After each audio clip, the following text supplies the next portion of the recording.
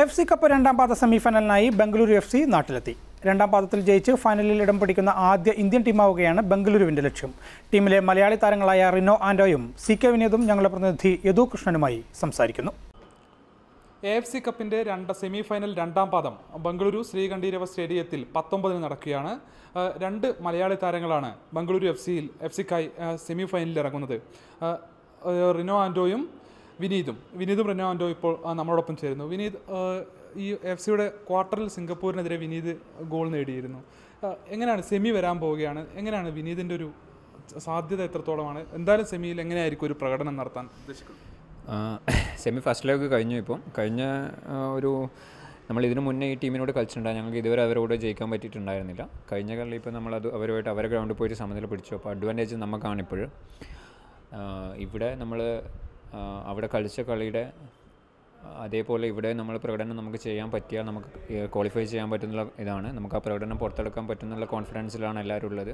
നമ്മൾ ആ പ്രകടനം പുറത്തെടുക്കുകയും ചെയ്യും നമ്മൾ ക്വാളിഫൈ ചെയ്യുകയും ചെയ്യും. ഇപ്പോൾ നമ്മുടെ ടീം ബാംഗ്ലൂർ എഫ് സി എന്ന് പറയുന്നത് ഇപ്പം ഹൈ ഓൺ കോൺഫിഡൻസ് ആണ് എല്ലാവരും ഉള്ളത്.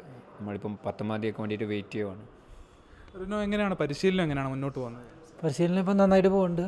ഇപ്പോൾ പുതിയ കോച്ചാണ് പുതിയ സിസ്റ്റമാണ് അപ്പോൾ കുറച്ചൊക്കെയും ഇപ്പം അത്ര നാളായിട്ടില്ല നമ്മൾ പ്രാക്ടീസ് തുടങ്ങിയിട്ട്. പക്ഷെ എല്ലാ എല്ലാം വേഗം വേഗം അഡാപ്റ്റ് ആവുന്നുണ്ട്. എത്രത്തോളം കാണികളെ പ്രതീക്ഷിക്കുന്നുണ്ട്? ബാംഗ്ലൂർ പോലൊരു നഗരം ഫുട്ബോളിനോട് എപ്പോഴും ഒരു അടുപ്പം കാണിക്കുന്ന ഒരു നഗരമാണ്. എത്രത്തോളം ബാംഗ്ലൂർ എഫ് സി ഒരു ഫാൻസിനെ പ്രതീക്ഷിക്കുന്നുണ്ട് പത്തൊമ്പത്? നമ്മുടെ ഫാൻസ് കുറേ വരാറുണ്ട് എല്ലാ കളിക്കും. നല്ല ഫാൻസ് ഉണ്ടാവാറുണ്ട്.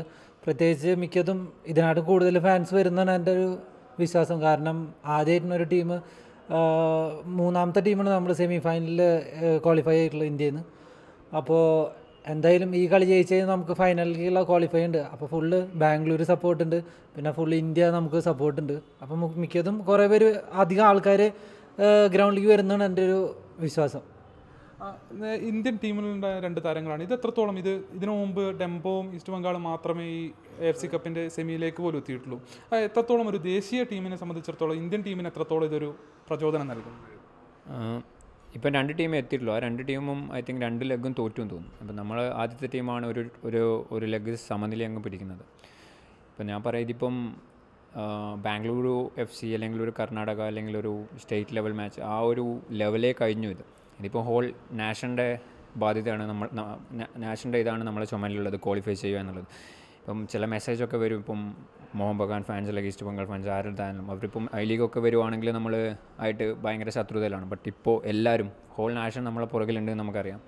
നമ്മൾ എന്താ പറയുക ആ ഒരു എന്താ പറയുക ഇന്ത്യൻ ടീ ഇന്ത്യ ഇന്ത്യൻ രാജ്യത്തിന്റെ ഫുൾ പ്രതീക്ഷയാണ് നമ്മൾ പുറത്തുള്ളത്. നമ്മൾ ആ പ്രതീക്ഷക്കൊത്ത് പ്ര- ഇവിടെ കളിക്കും.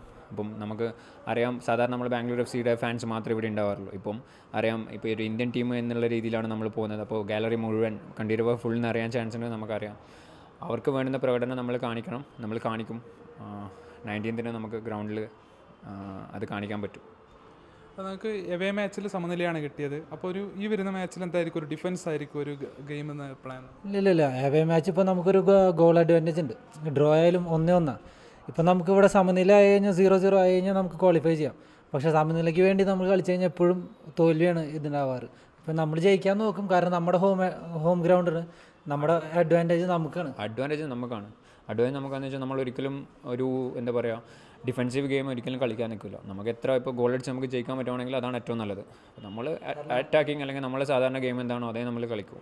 നമ്മുടെ ഡിഫൻസീവ് ഗെയിം അവർ അവർക്ക് പോകാനൊന്നുമില്ല. അവർക്ക് എന്തായാലും ക്വാളിഫൈ ചെയ്യണം. അവർക്ക് വിൻ തന്നെ വേണം. ഇഷ്ടപ്പെടാൻ സത്യം പറഞ്ഞാൽ നമുക്കൊന്നും ഇല്ലാത്തത്. നമുക്ക് കാരണം നമ്മൾ ഇവിടെ എത്തിയത് തന്നെ ഇപ്പം പലരും നെറ്റി നെറ്റിച്ച് വിളിക്കുന്നുണ്ടാവും നമ്മൾ ഇവിടെ എത്തിയത് തന്നെ.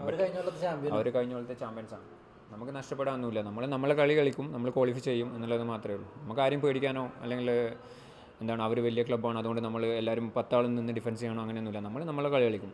ആരായാലും അവർ പത്താളല്ലേ കളിക്കുന്നത് നമ്മളും പത്താൾ പതിനൊന്നാളുണ്ട്.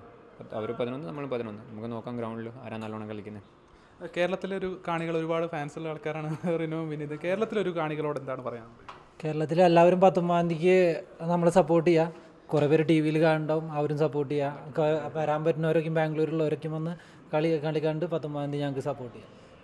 പത്തൊമ്പതാം തീയതി നമ്മൾ ക്വാളിഫൈ ചെയ്യാൻ നിൽക്കുവാണ് ഫൈനലിൽ ക്വാളിഫൈ ചെയ്യാൻ നിൽക്കുവാണ് അപ്പോൾ ഇവിടെയുള്ള ആൾക്കാർക്ക് ഇവിടെ വരാൻ പറ്റുന്ന ആൾ ഇവിടെ വന്ന് കളി കാണുക. അവിടെയുള്ള ആൾക്കാർ ടി വിയിൽ കളി കാണുക.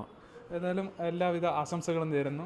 പത്തൊമ്പതാം തീയതിയിലെ മത്സരത്തിനായി കാത്തിരിക്കുകയാണ്. വിജയത്തിൽ കുറഞ്ഞ ഒന്നും തന്നെ വിജയത്തിൽ കുറഞ്ഞ ഒന്നും തന്നെ പ്രതീക്ഷിക്കുന്നില്ല എന്നാണ് റിനോയും വിനീതും പറയുന്നത്.